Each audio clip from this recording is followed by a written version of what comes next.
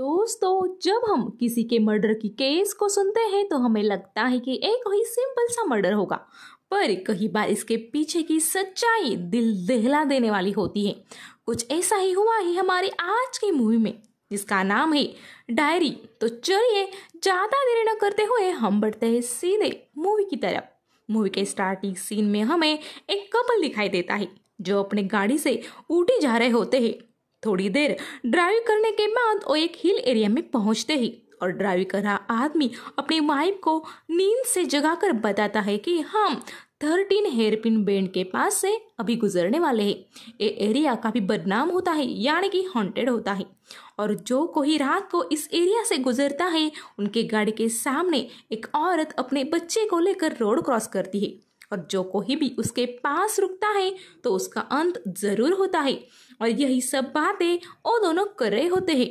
तभी उनकी गाड़ी थर्टीन हेयरपिन बैंड के पास पहुँच जाती है और उनकी गाड़ी किसी चीज़ से टकरा जाती है और उस आदमी का गाड़ी पर से कंट्रोल जाने से उन दोनों का एक्सीडेंट हो जाता है। और अगले सीन में हम टीवी पर इसी घटना की न्यूज़ भी देखते हैं। तब हमें पता चलता है कि थर्टीन हेयरपिन बैंड के पास एक्सीडेंट लगातार होते रहते थे और कुछ लोगों का मानना था कि वो जगह हॉन्टेड है और कुछ लोगों का मानना था कि वो टर्न ही ऐसा है कि सामने से आने वाली व्हीकल दिखाई नहीं देती, जिस वजह से एक्सीडेंट होते हैं।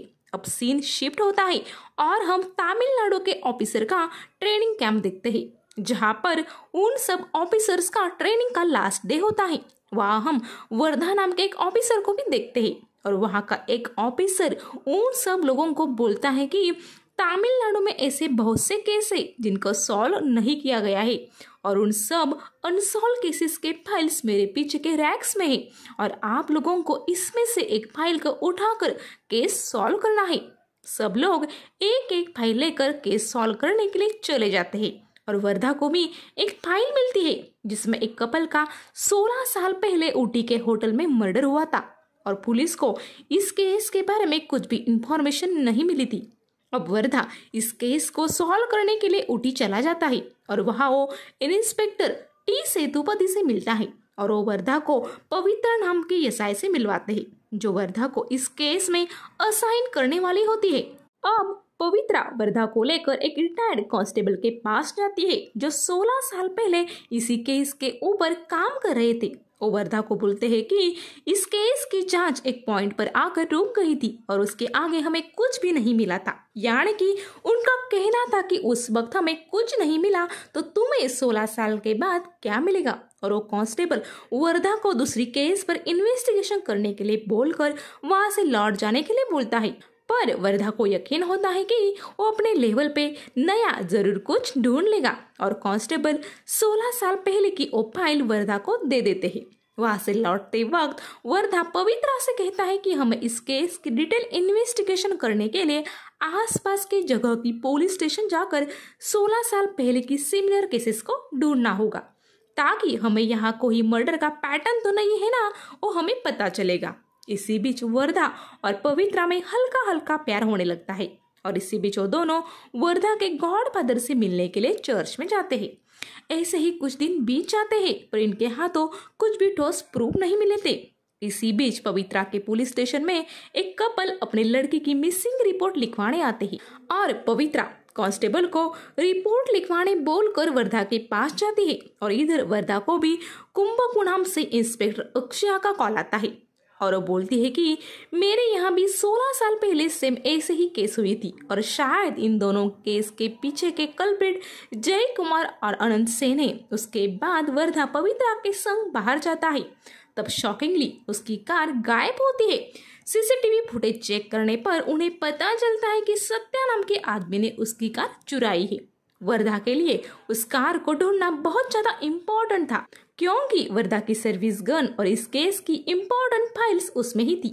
अब यहाँ से सीन शिफ्ट होता है और हम तीन चोरों को देखते हैं, जिनका नाम होता है सीतारासु जय कुमार और आनंद। ये तीनों एक होटल में एक कपल को मारकर उनके गहने और पैसे चुराकर वहाँ से भाग जाते हैं और ऊटी स्टेशन पर आकर वहाँ से ऊटी के बाहर जाने वाले एक बस में चढ़ जाते हैं।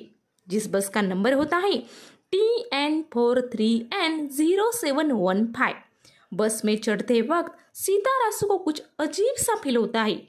जब वो बस में चढ़ता है, तब बस में दो पैसेंजर बैठे होते हैं, एक साधु माता और एक मीनाक्षी नाम की लेडी। अब थोड़ी बस आगे जाकर रुकती है, जहाँ पर लिजी नाम की एक लड़की को उसके पापा बस में बिठाकर चले जाते हैं। फिर आगे हम एक लड़के को मिलते हैं, जिसके गर्लफ्रेंड की कल शादी होने वाली थी। जिस वजह से उस लड़की ने, इस लड़के को उसके घर बुलाया था और वहाँ से वो दोनों भाग जाने वाले थे। आगे हम राघवील और इजिल को देखते हैं, जो दोनों घर से भाग रहे थे और राघवील के पिता घर घरशेखरन को इन दोनों के बारे में पता चलता है और वो अपने आदमियों को इन दोनों को ढूंढकर मारने के लिए बोलते हैं। अगले सीन में हम सत्या को देखते हैं, जहाँ पर वो एक जगह जाकर वर्धा की कार एक आदमी को बेच देता है। और वहाँ से जाते वक्त उसे ऐसा महसूस होता है कि यहाँ किसी को बंदी बनाया हुआ है, पर वो इस बात को इग्नोर करके वहाँ से चला जाता है। तभी वर्धा और पवित्रा कार को ढूंढते ढूंढते उस जगह आ जाते हैं, जहाँ पर सत्या ने कार बेची थी। इधर बस में भी एक माँ और उसका बच्चा चढ़ जाते हैं। और थोड़ी देर बाद राघवी और इजिल घनशेखरन के आदमियों से बचने के लिए इस बस में चढ़ जाते हैं और इधर वर्धा अपनी कार को वहाँ से लेता है और साथ में उस लड़की को भी बचाता है, जिसको वहाँ के लोगों ने बंदी बनाया था।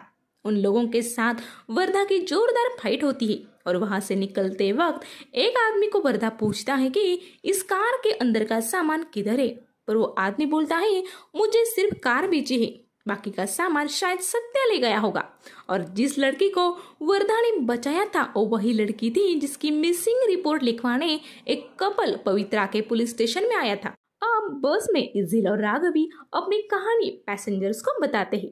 तब हमें पता चलता है कि इजिल और राघवी बहुत सालों से एक दूसरे के साथ रिलेशनशिप में थे। और एक बात जब राघविल ने अपने पापा गरज शेखरों को बताई, तब उन्होंने इजिल और उसके पिता को अपने गुंडों के हाथों बहुत पिटवाया, जिसमें इजिल के फादर की मौत हो गई। तभी बस का कंडक्टर उन्हें पूछता है कि तुम अब आगे क्या करोगे? तब राघवी उन्हें बताती है कि मैंने अपने संग गोल्ड और पैसे लिए हैं, जिसकी मदद से हम आगे की ज़िंदगी शुरू करेंगे। उसकी ये बातें सुनकर वो तीनों चोर चौकन्ने हो जाते हैं और प्लान बनाने लगते हैं कि किसी भी तरह राघवी की बैग चुरा लेनी चाहिए। अब बस में एक लॉयर बेटा होता है और राघवी और इजील को बोलता है कि आप दोनों को जल्द से जल्द शादी कर लेनी चाहिए।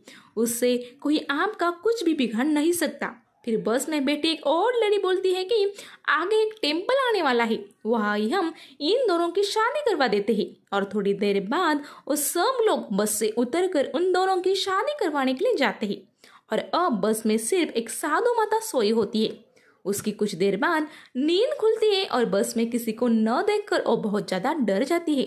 और बाहर देखने पर उसे बस की विंडो पर अजीब से चेहरे और हैंडप्रिंट्स दिखने लगते हैं, जो देखकर साधु माता नीचे बैठ जाती है और भगवान का नाम लेती है। इधर इजिला और राघवी की शादी होती है और सब लोग वापस से बस में आते हैं। और जर्नी कंटिन्यू करते हैं, कुछ देर बाद कुछ पैसेंजर्स बस से उतर जाते हैं और उन्हें रास्ते में गरज शेखरन के आदमी मिलते हैं। तो इजिल और राघवी की फ़ोटो दिखाकर उनके बारे में पूछते हैं। पर उसमें से एक बूढ़ी औरत उनको झूठ बोल देती है कि हमने इन दोनों को नहीं देखा। तभी उनके साथ वाले एक छोटी बच्चे बोलते हैं कि हमने तो अभी इन दोनों की शादी करवा दी है। और घनश शेखर के आदमी गुस्से से इन लोगों को गाड़ी के नीचे कुचल कर बस के पीछे निकल जाते हैं। इधर बस में हम देखते हैं कि साधु माता के डरे हुए चेहरे को देखकर उनके पास वाला एक आदमी उन्हें पूछता है कि क्या हुआ? तो साधु माता अपने साथ बस में हुए घटना को उसको बताती है।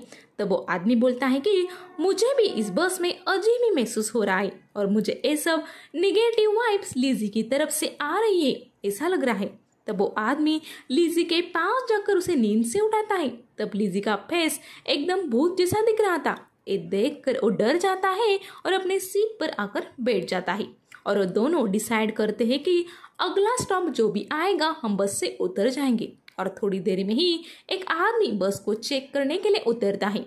तब साधु माता और वो दूसरा आदमी बस से उतर जाते हैं। और उस बस चेक करने वाले आदमी को बोलते हैं कि बस में भूत है।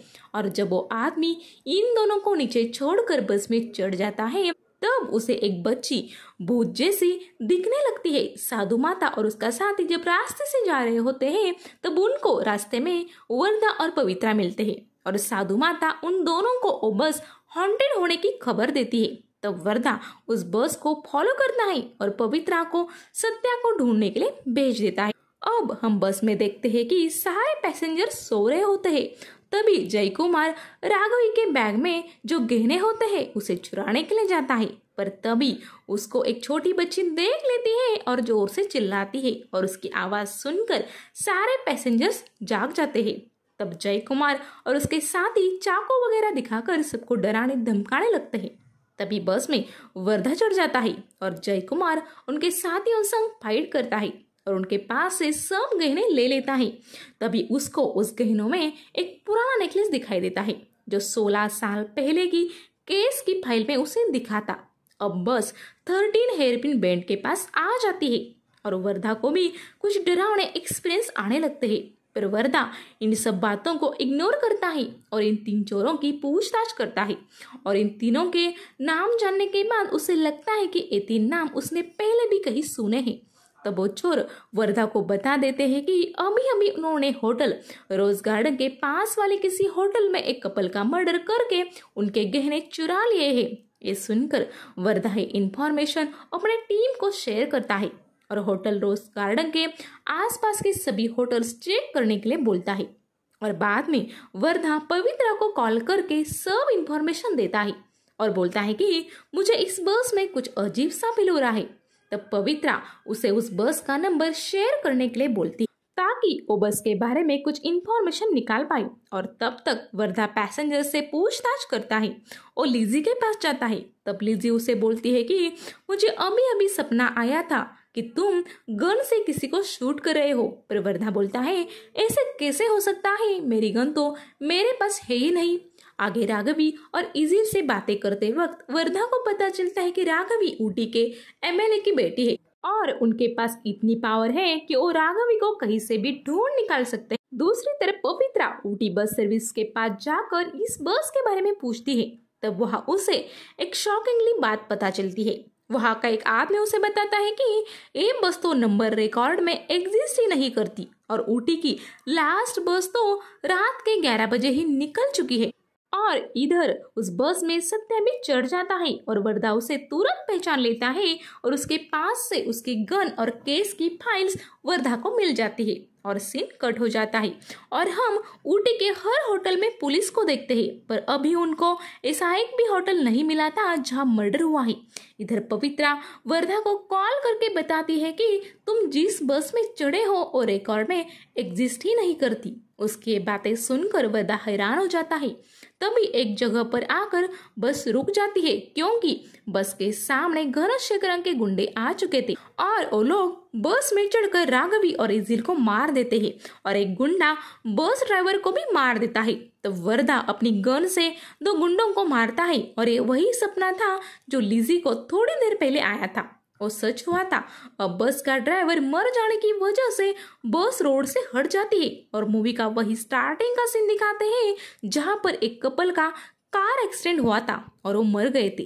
और आप समझ गए होंगे कि वो एक्सीडेंट इसी बस के टकराने की वजह से हुआ था। और बस भी खाई के मुँह पर ऐसे पोजीशन में आती है कि जरा से हिलने पर भी वो सीधे खाई में जा सकती थी। वर्दा किसी तरह अपने साथ और तीन लोगों को बचा लेता है और बस खाई में चली जाती है। अगले दिन सुबह वहाँ पुलिस और एंबुलेंस आती है और क्रेन की हेल्प से खाई में गिरी बस को ऊपर निकाला जाता है। पर चौंकाने वाली बात यह होती है कि जो बस कल रात ही खाई में गिर गई थी, वो बस एकदम पुरानी बाहर निकलती है और उसे जंग भी लगा होता है। ऐसे कैसे हो सकता है? और उसमें से सब लोगों के कंकाल मिलते हैं। जैसे सालों पहले इन लोगों की मौत हुई हो, पर उसमें सिर्फ़ एक आदमी की, जो लीजी के पीछे बैठा था, उसकी बॉडी फ्रेश थी। अब यहाँ से वर्धा और पवित्रा उस बस की इंफॉर्मेशन निकालने के लिए ओल्ड रिकॉर्ड चेक करते हैं। तब उन्हें 16 साल पहले के रिकॉर्ड से पता चलता है कि ये बस अचानक से रातों रात ही गायब हो गई थी और 16 साल पहले ऊटी के एक होटल में एक कपल का मर्डर भी हुआ था। अब वहाँ से जाते वक्त वरना पवित्रा को बोलता है कि मुझे ऐसा लग रहा है कि मैंने कल रात टाइम में पीछे ट्रेवल किया और 16 साल के उस इंसिडेंट को अपने सामने होते हुए देखा। अब वर्दा इस केस के सारे सबूत इकट्ठे करता है। और घनशेखरम को अपनी बेटी और इजिल के कत्ल के लिए अरेस्ट करता है। उसके बाद वर्दा फादर के पास जाता है और उनसे ये सारी बातें शेयर करता है। तब फादर उसे बताते हैं कि तुम्हारे साथ ये इसलिए हुआ ताकि तुम थर्टीन हेयरपिन बैंड से जुड़े हो। अब कहानी का वही सीन दिखाते हैं जहाँ पर उस कपल की कार का बस की वजह से एक्सीडेंट हो जाता है और उनकी कार पेड़ पर टकरा जाती है और वही उन दोनों की मौत हो जाती है। पर उस कार के डिक्की में एक बच्चा सो रहा होता है और उस रात फादर वहाँ से गुजर रहे होते हैं और उस बच्चे को वहाँ से उठाकर अपने साथ लेकर जाते हैं। और ये बच्चा और कोई नहीं, बल्कि वरदा ही था। और 16 साल पहले कार में मरा हुआ कपल और कोई नहीं, बल्कि वरदा के ही पेरेंट्स होते हैं। ये सब बातें बताने के बाद फादर वरदा को उसके रियल पेरेंट्स की एक फ़ोटो भी देते हैं। उस दिन से वरदा हर दिन उस बस के इंतज़ार में बैठा रहता है और इसी तरह चार साल बीत जाते हैं और इसी बीच पवित्रा और वरदा की शादी भी हो जाती है और उनको एक बेटा भी हो जाता है। एक दिन वरदा को अक्षया का कॉल आता है। वो उन दोनों को अपनी एंगेजमेंट के लिए बुलाती पर वर्धा उसे बोलता है कि मैं नहीं आ सकता क्योंकि आज ट्वेंटी नाइन फरवरी है, जो उसके पेरेंट्स की डेथ एनिवर्सरी होती है। उसकी बातें सुनकर पवित्र एक पैटर्न नोटिस करती है और फ़ोन बंद होने के बाद वर्धा को बोलती है कि तुम जब चार साल पहले उस केस की इन्वेस्टिगेशन करते वक्त उस बस में चढ़े थे, तब भी 29 फरवरी थी और आज भी वही डेट यानी कि वो बस हर साल में, यानी कि 29 फरवरी में ही उस रूट से जाती है। वर्धा पवित्रा की ये बातें सुनकर तुरंत उस बस के इंतज़ार में चला जाता है। और रास्ते पर वर्धा और सत्या उस बस का वेट करते हैं और वो बस भी आती है, जिसके बाद वो दोनों उस बस में बैठकर चले जाते हैं और इसी सीन पर ये मूवी खत्म हो जाती है। तो दोस्तों, ये थी डायरी मूवी की कहानी और मुझे पता है कि आपके मन में ये सवाल आ रहा होगा कि वर्धा ने उसमें से तीन ही आदमियों को कैसे बचाया और बाकी लोगों के कंकाल कैसे बने क्योंकि वो चार ही लोग उस बस में से प्रेजेंट में ट्रैवल कर रहे थे और बाकी तो सब 16 साल पहले ही मर चुके थे, पर उनका बदला पूरा नहीं हुआ था। इसलिए वो उस बस में दिखते थे, पर वर्धा ने घनश शेखरन को अरेस्ट करके उन लोगों को न्याय दिलवाया था, क्योंकि घनश शेखरन की वजह से ही इन सब की मौत हो गई थी। और जिस आदमी की बॉडी खाई में फ्रेश मिली थी, वो भी प्रेजेंट टाइम में ही ट्रैवल कर रहा था पर वर्दा उसे बचा नहीं पाया था। जब आपका सब कंफ्यूजन क्लियर हो गया होगा, और मैं उम्मीद करती हूँ कि आपको ये मूवी अच्छी लगी होगी तो चलिए इसी नोट पर मैं आपसे लेती हूँ विदा। Good bye